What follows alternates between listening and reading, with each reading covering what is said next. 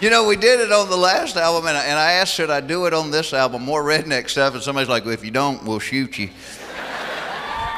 Because the thing about that, I guess that's the biggest misconception about the South. A lot of people think everybody from the South is a redneck, and I've been all over the place. There's rednecks everywhere you go. How many rednecks we have here tonight?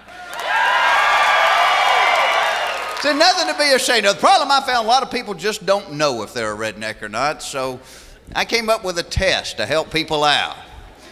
Things like um, if you own a home that is mobile and 14 cars that aren't,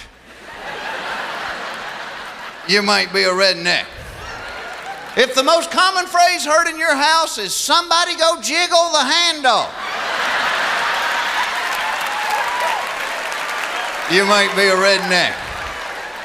If you've been married three times and still have the same in laws, you might be a redneck. If your lawn furniture used to be your living room furniture, you might be a redneck. If your dog passes gas and you claim it, you might be a redneck. If your wife has ever said, Come move this transmission so I can take a bath, you might be a redneck. If your grandmother can properly execute the sleeper hold, you might be a redneck. If your underwear doubles as your bathing suit,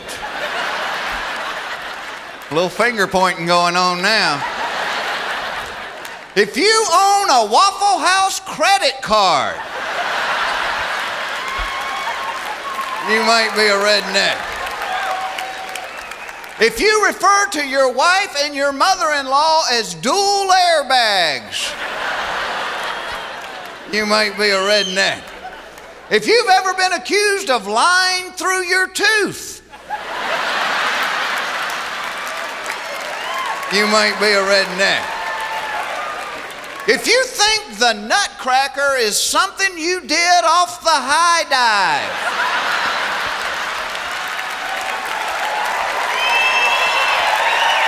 you might be a redneck. If you've ever had hot flashes at a cattle auction, you might be a redneck. If you wear a dress that is strapless with a bra that isn't, you might be a redneck. If somebody hollers hoedown and your girlfriend hits the floor,